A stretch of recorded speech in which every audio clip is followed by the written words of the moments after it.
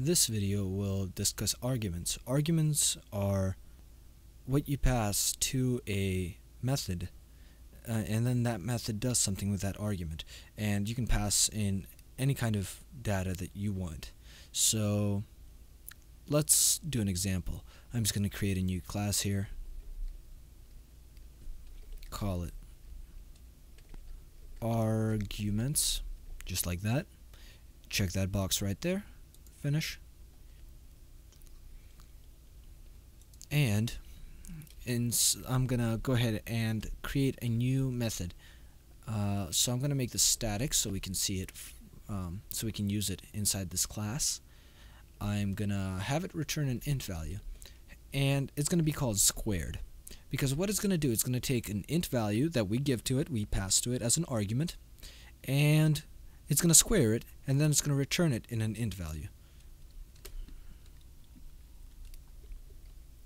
So we do round brackets right there, and inside the round brackets we indicate the type of argument that it should expect, so an int, and we indicate a name that will be assigned to that argument that will be used from within the method in order to access the argument passed. And I'll show you an example of this in a second.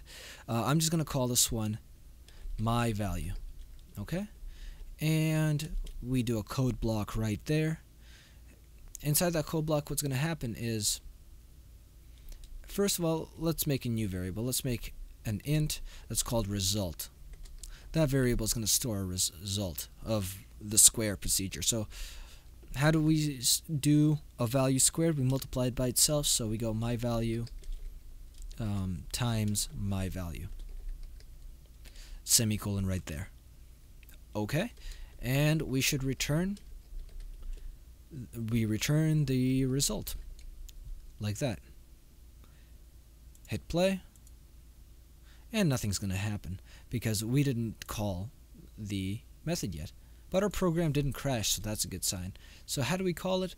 We're just going to type in the name of the method, and we're going to pass an argument to it. Now, how do we pass an argument?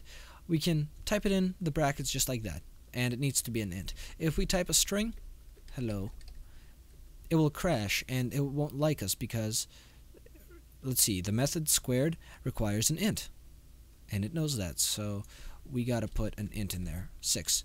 Alternatively, we can also do a variable. Uh, we can do int my int equals 6, or equals 6, like that, and then inside these brackets right here we can put in my int. That would be the same thing. Now, if we do this right now, nothing will happen, and I'll show you nothing happens.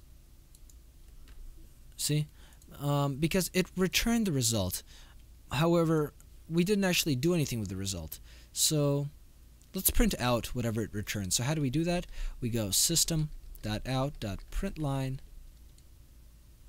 and we print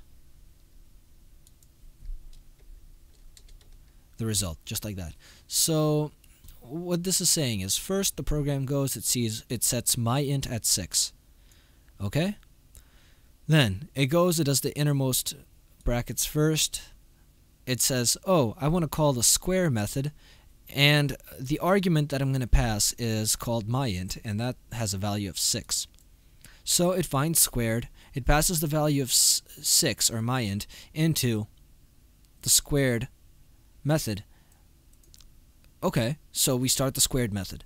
Inside the squared method, we have an, a variable result being initiated, and it's being assigned a value of whatever my value times my value is.